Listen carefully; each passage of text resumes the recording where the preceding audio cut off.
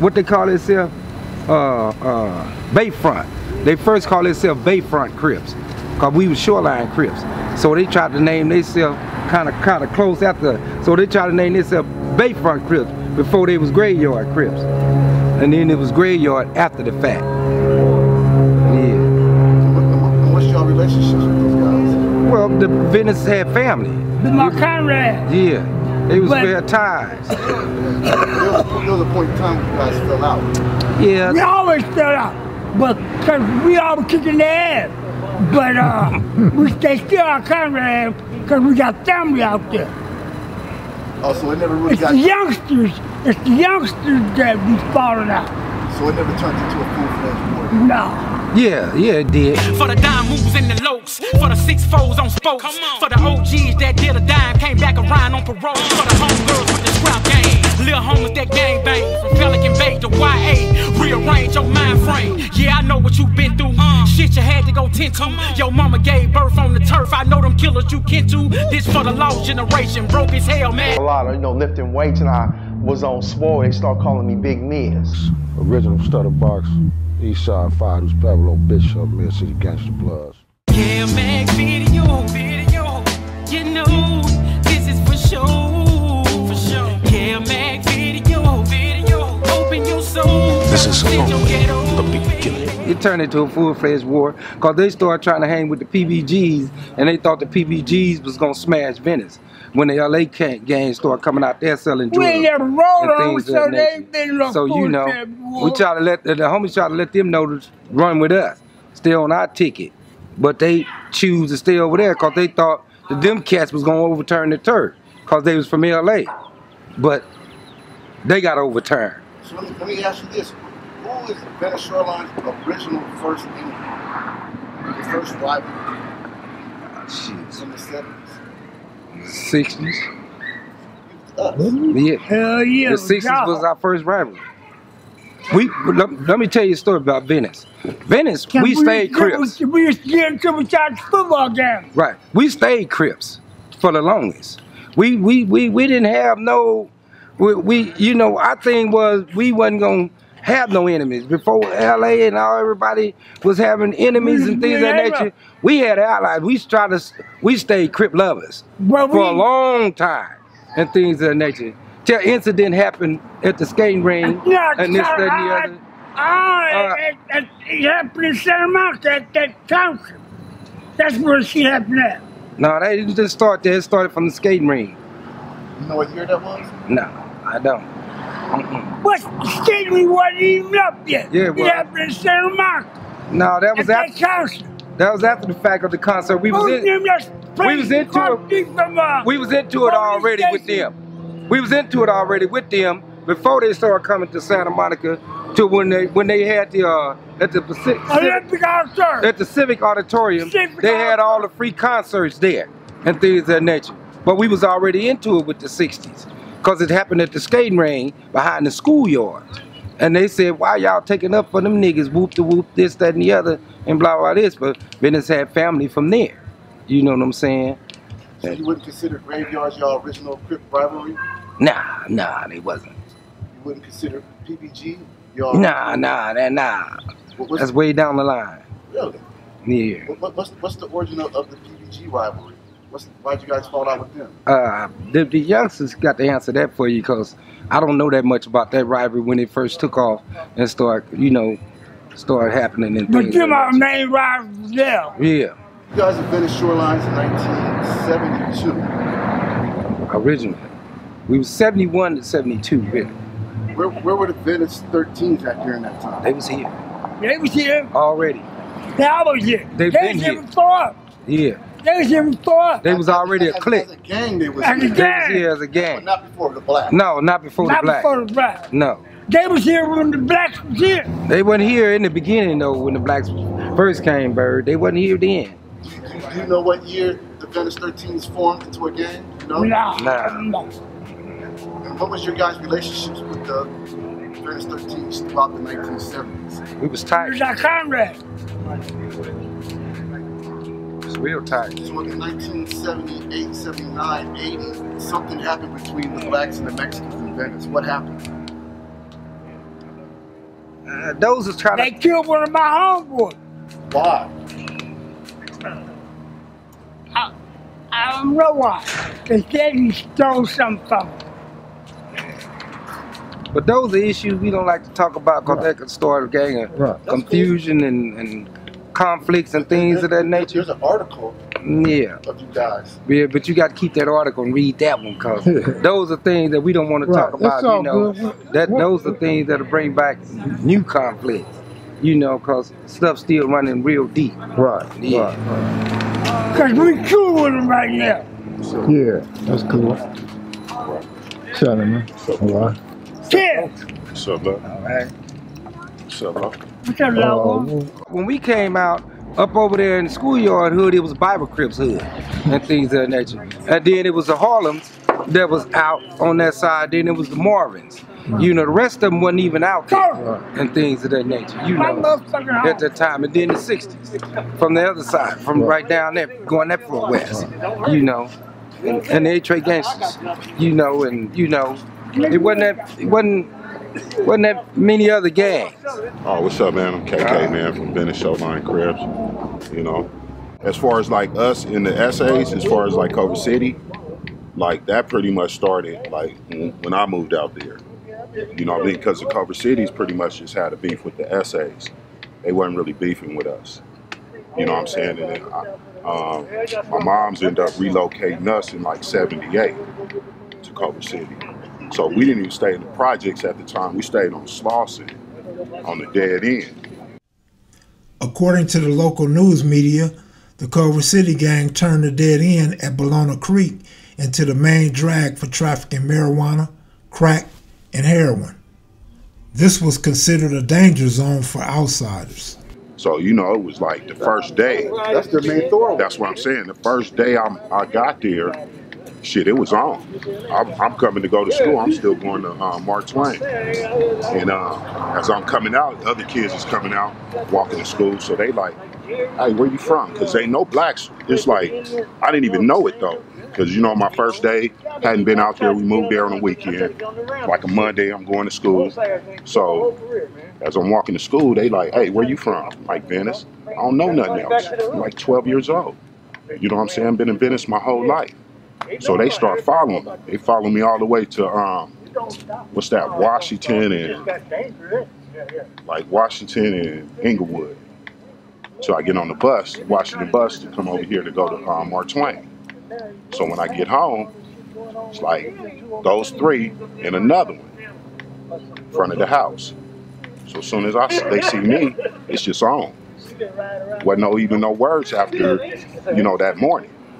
You know what I mean? So I was already from that time on there labeled as, you know, Venice is over here. You know, so So they didn't know the difference between Venice 13 and Venice Shoreline. They had just no idea. They knew the difference. Enough. no, they, knew the difference. they didn't have a difference. When we was in school, Nah, they knew the difference. The thing about it did they didn't because we was going to school with each other and we was living together. When they was coming through here back then, they seen blacks and essays at the park. You know what I mean? Like we we always kind of as far as the the B13s and us, we always kind of like you say grew up together Mhm. and we had our little things with them. You know what I'm saying? But that was like the early 70s. Mhm.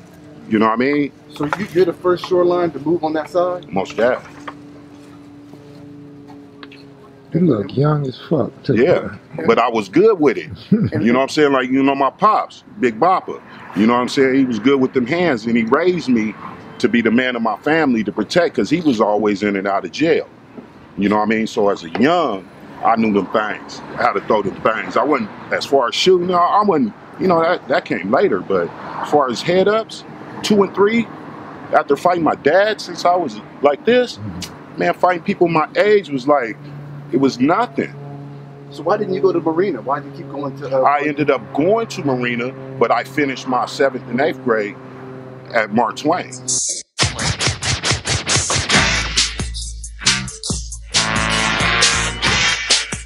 There was a point in time where the shorelines basically dominated those projects. Can you kind of like explain when you guys actually infiltrated the projects Well, and who was behind it? Well, I Um, moved out there. I, I like I say, I moved out there in '78. Um, I was 12, and so at the time, it was it was people. We had families out there that was that lived in Venice, and they were older than me, but they weren't gang banging. You feel me? It was like they was they was like on that square shit, like wearing the members only jackets. You know, had them little cliques like that. You know, like Marion Wood, you know, which was in the projects. And then they had Marion Wood, and I think they had like um like another clique that was Allen Street. You know what I'm saying? But they had they little shit on their jackets. So, but the essays was cool with that because that was a part of their community. Wasn't a threat. They wasn't a threat. See, when I'm a young dude and I was a threat, you know what I mean? Like just by me being from Venice, I was a threat to them. So are you? So you are you the one that was in the projects recruiting other blacks into Venice? I never recruited nobody. So how did how did the projects? we all kind of more people came from out of Venice. You know what I mean? We had some younger homies that came up out of Venice. And, and when they came, you know, like the homie S Man, you know what I'm saying? Lil S Man, you know what I'm saying? He was the one more recruiting. You know what I'm saying? Like pretty much we all had the Venice background, but it was just like So wait a minute, S S Man's the original Venice kid. He in the project kid. Nah, he's not original um, project kid. I always thought he was a He's a project Venice kid. kid. Nah, see, he, we was young though. So No, you gotta from understand, Venice. dog. We was still, you know what I'm saying? We was babies having to fight grown up shit. When we was here in the hood, we had we didn't have that shit. We didn't have that. I mean, we might fight with the homie here and there, but we, you know, we loving each other though. Out there, man, it changed the whole geographic of the whole thing. Did, did those projects end up being a, a, a, like a second click of show lines, or you guys always considered that one and the same? Well, people tried to make it a separate click. I know for a minute they was trying to run around here um, claiming Southside being a show line over there. You feel me? Kill it. You know, cause see, once once that see to me, the youngsters they was running with it, and I and I can understand it because we did have our own separate, you know what I mean, thing. Because at, at, and basically at the time, the homies weren't coming to the projects. The Oak- Dude, we the was Oak- on our own. Everybody out there was on our own. We wasn't coming to the hood actually telling nobody for help. Matter of fact, I think a couple homies came to the hood and said, like when we was going through shit in the beginning, and the homies was like, man, that's on y'all. See, it was a money thing. You know what I mean? When all the Oh, oh drugs oh, oh, fell oh, oh down, oh, you know. There was a point in time when you guys weren't communicating. And We intermediating? communi- we communicated, but we was on our own. As far as over there. Because the youngsters was up You know why? Because see, at, at the same time, it was in the low key. Like niggas was scared of them them Culver cities. You know what I'm saying? Like they wasn't coming there. And when we got the homies to come finally come to to the projects, we had a football game. Remember we had that football game? We had that big ass football game. And we was all out there, everybody. You know what I'm saying? And that was like the first time that our numbers was like that. And I think once they seen our numbers was like that, the pressure from them kind of it kind of backed up a little bit. But we was always having here and there confrontations with them. Little homies fighting with them at school, you know what I'm saying? And then, you know, after school, you know how they meet up in the alley right there off off the marina, you know, a block off the marina in the alley. So all of a sudden they big homeboys is there. See, we never had I was like the biggest homeboy that we had that was claiming the hood. And I was still a young though. And my niggas was younger than me. Let me ask you this. I came across some information. I don't know if it's true or false that before it was shorelines in the projects, there was a gang called in Culver City Insane Crips. Way before my time. Mm-mm. Way before my time. And I never even heard the I never even heard anything of that nature No, in the whole time I was in Culver City. no. I ain't never heard that. You know No. why? Venice the Crips Culver was the first City's one Not I, staying Crips that ever City. Five Yeah, The Culver City's never had a black gang in Culver City. exactly. It's always just been Tell it's Sholine always- out there. It wasn't no always been guy. Culver Cities or the blacks that was in Culver City, they they joined Culver City.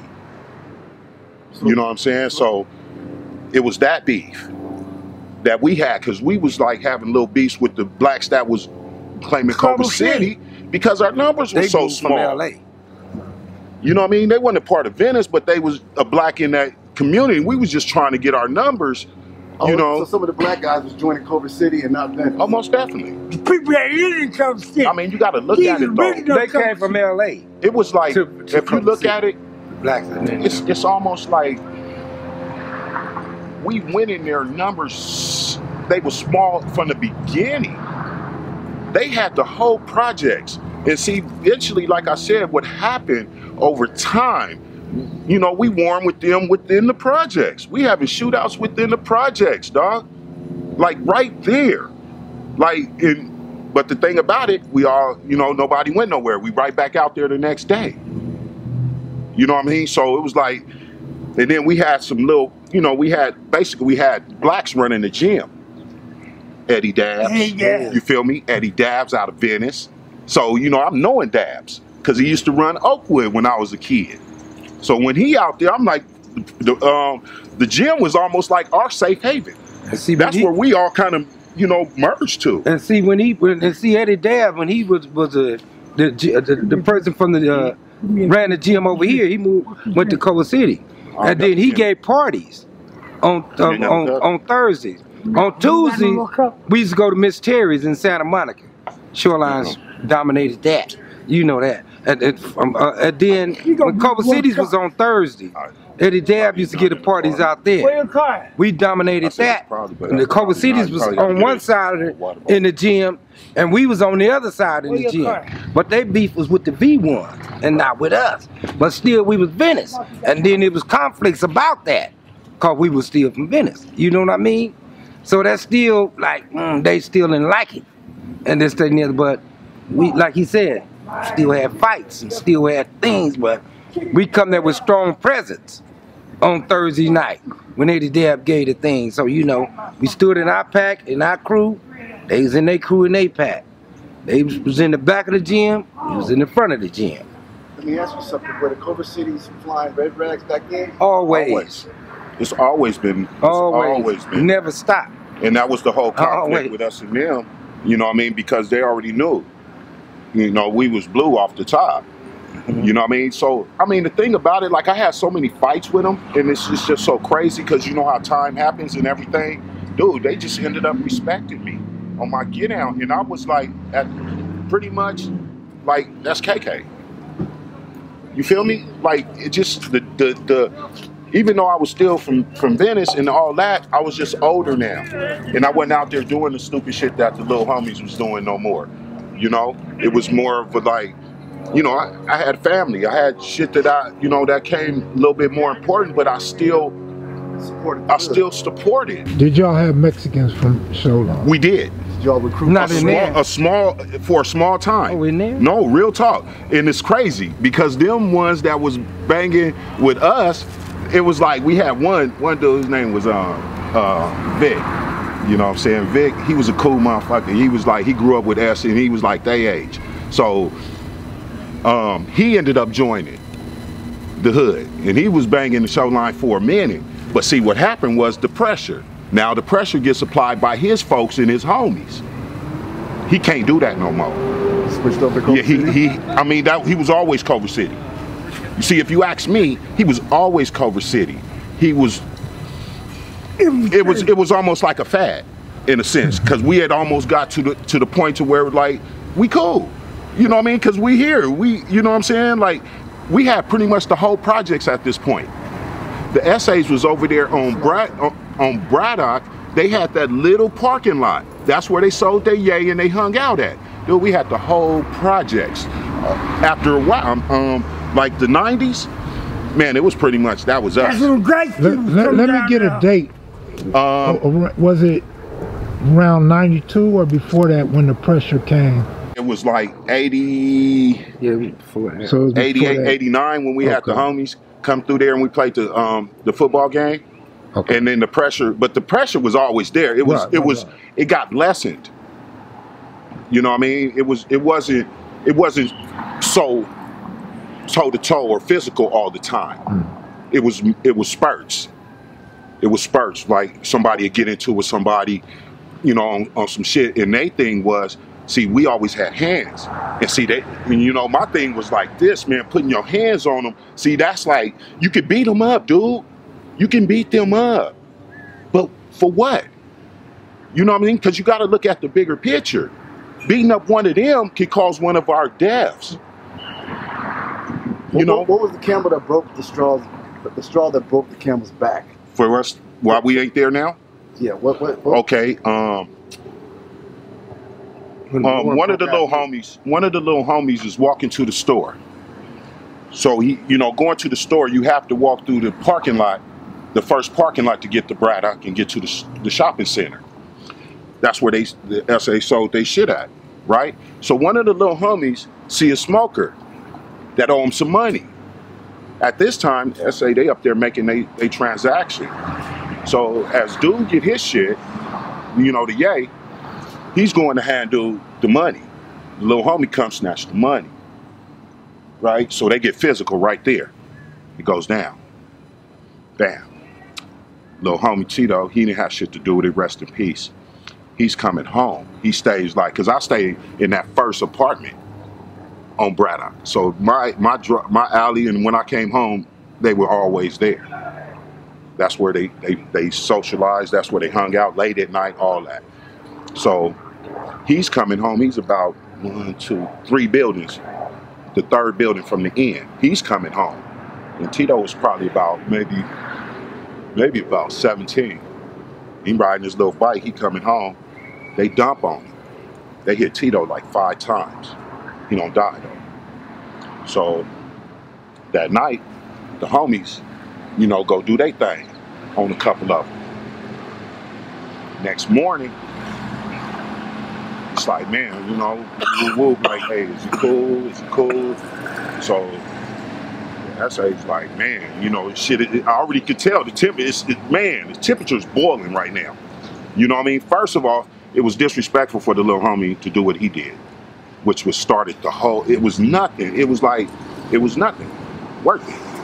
So when he did that, you know, S, S and um, B, B face, baby face from Culver City, they having this little conversation because they both around the same age. I'm just over here on the sideline because it, it, it kind of pertains to me, but it really don't because they everybody already know I don't fuck around like that. You know what I mean? So they over there talking. That's like, man, we good.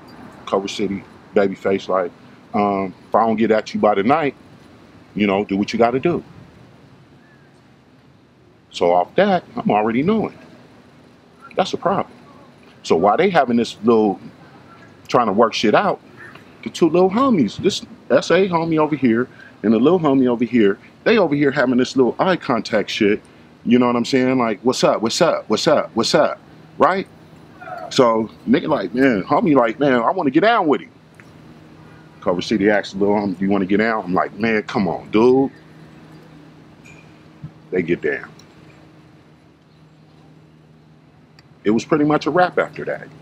You know what I'm saying? Because that, that night, some shit went down, some shootings and shit.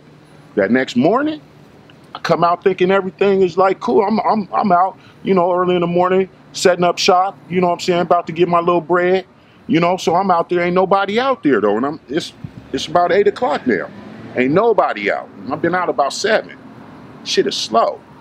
But you could feel something is in the air. Like what the fuck? All of a sudden, man, I'm sitting there. About 10 Culver Cities come through the building.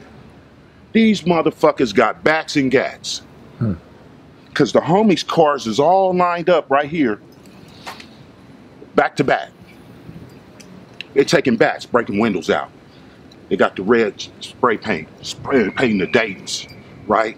Hitting up Culver City and shit on the cars. I'm like, I'm over here, I'm across the street.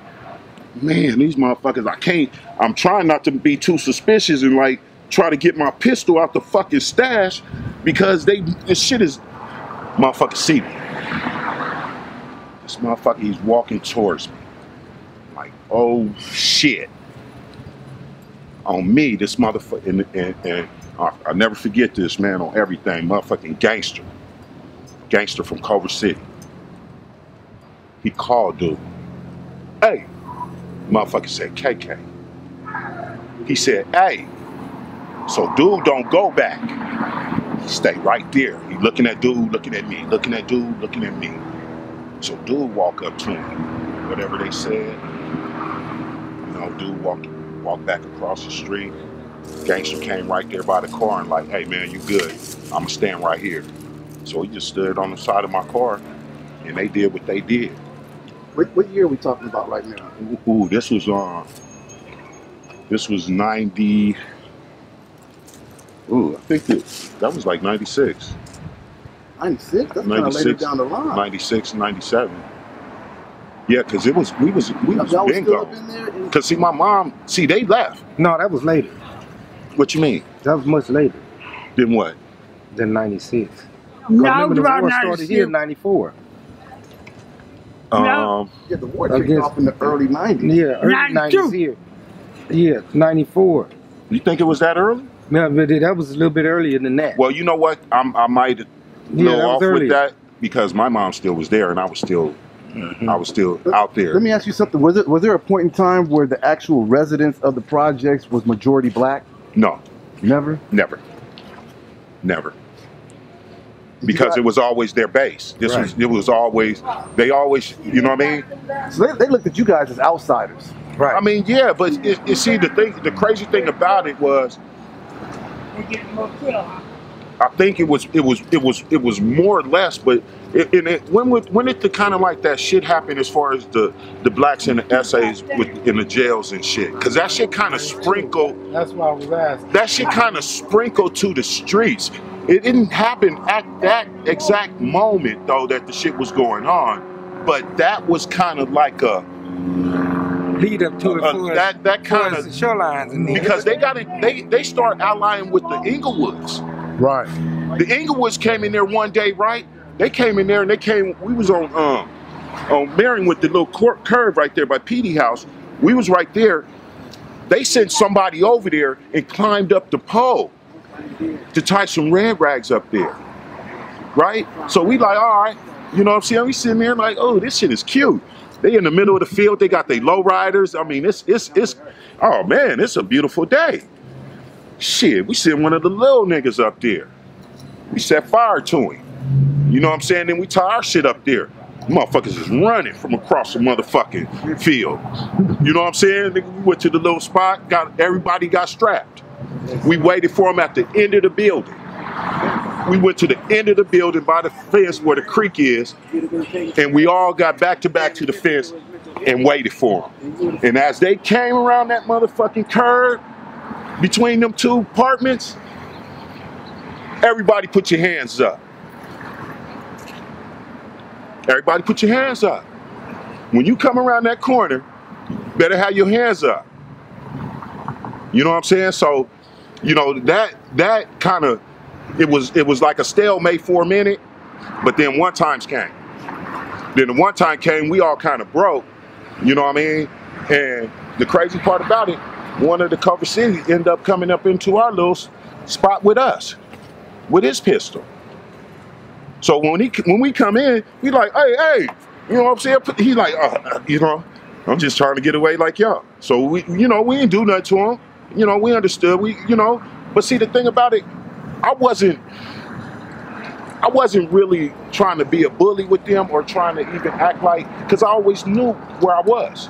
Let me ask you something. When all this drama's going on in the projects, are the homies over here aware of what's going on? Or are they No. oblivious? No, have because they live in here. They live in their thing. They they going through what they going through day to day. This is our day to day function. Let me ask you something. Was there any white boys from Venice out of Yeah. the projects? We had Cool. G Mike. You know what I'm saying? We we, we had uh we had G Mike and we had uh man what's the little Paul uh Dirty and we had uh uh what's these? Yeah, they all brothers. So You know? it was, it was a white white family of show lines in the projects. Yeah, and they was more black than white. They grew up black. What happened to them? Um, shit, them niggas moved out. You know, they ain't nothing happened to them. Ain't nobody, they ain't died. See, our numbers only only time we lost somebody from the projects before all this, and we didn't actually lose anybody while we was out there in the projects to any wars. We lost our homeboy Big Mi- um, um, G Mike early in the day. Uh, you know, they had um, they was over there at the uh, in the marina where they had the little video games, arcades and shit over there. Like they getting on the tour with some niggas over there, and the homie ended up getting stabbed. You know, from that situation. But we we didn't lose nobody actually while we was in the projects to any any wars. Let me ask you something. When y'all was in the projects and the dope gang was full fledged, were there any other outside black gangs in there hustling Yeah, too? Who? Grape Street Watts, and in um, the '60s.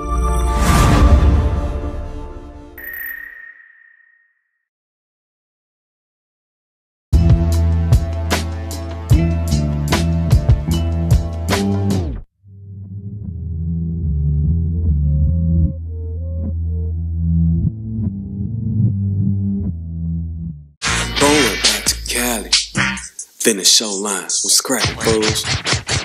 Going back to Cali, Cali.